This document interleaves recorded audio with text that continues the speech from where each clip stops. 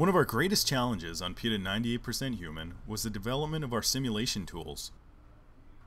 It was largely built in the Softimage environment with a great deal of research and development in ICE. These new tools were custom built specifically for 98% Human. Our major focus was to build an entire muscle and skin simulation system from scratch and to get a proprietary setup that would be efficient, flexible, and highly optimized for a commercial workflow. A chimpanzee heartbeat set up to 120 beats per minute was generated, and attributes traveling through the body were used to color the skin differently to make the CG ape feel more alive. Skin tension and wrinkles were a very challenging part of this process.